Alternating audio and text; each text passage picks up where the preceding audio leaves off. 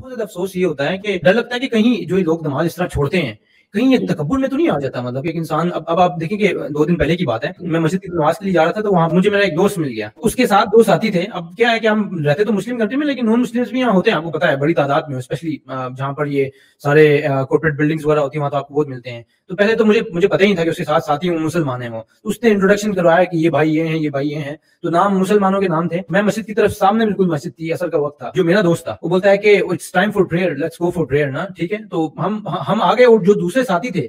आप देखिए कि हैरानगी हुई मुझे कि उन दोनों ने कोई एक्सक्यूज भी नहीं लगाया। मतलब लिटरली वो इसको बाय करके उस तरफ़ चले गए। मतलब ये भी उनका दोस्त था और ये मेरे साथ आ गया। तो मैंने इससे पूछा कि यार तुमने जो नाम बताए वो तो मुसलमान नाम नहीं है?